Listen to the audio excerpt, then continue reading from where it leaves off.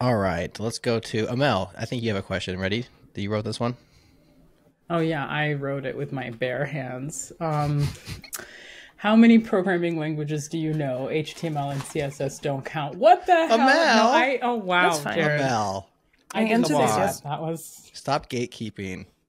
I answered this yesterday to for friends. Um, so Okay. what do you what do you count? Do you count like languages that you would like without needing to read any documentation? Do like a network request in? Like what do you count? Mm. Similar to languages, like you know, Or have I And- ever programmed in professionally? That's that's different. I don't think it has to be like professionally.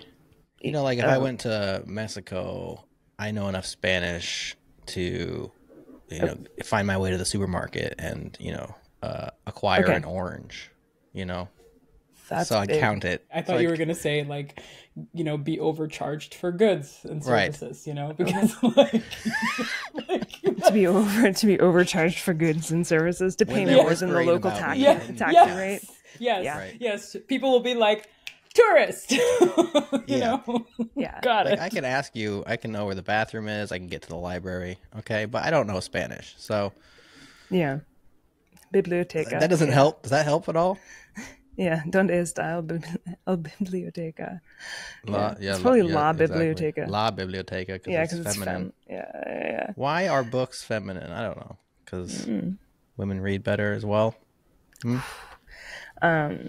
Yeah, languages. Um, so in order, in order, um, it would be Objective C was my first language, Okay. and then I went um, Ruby, Python, and then we went from Python to Java, JavaScript.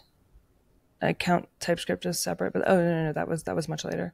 Kotlin, and let's see, then TypeScript, uh, HTML, CSS. I don't know. So I think we're at Well, seven. doesn't count those. It's fine. It's fine. So se- seven, um, not counting HTML, CSS. I think. No, also Lisp, Bash, nine. It's pretty good. Yeah, it's a pretty solid I- list. well, I'm so I- amazed you stuck with it after Objective C because that's probably Oh, yeah. like the most painful programming language I've ever even attempted to like read or learn. or I learned Objective it C. I kind of liked it over time. really? Oh I my like it a lot. God. Oh wait, did I mention Swift? Oh. No.